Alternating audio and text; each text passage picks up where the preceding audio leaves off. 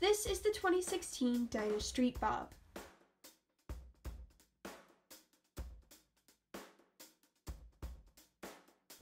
With mini ape hanger handlebars,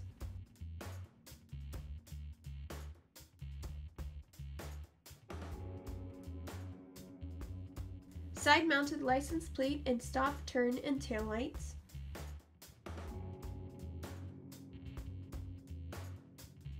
a console-mounted ignition switch,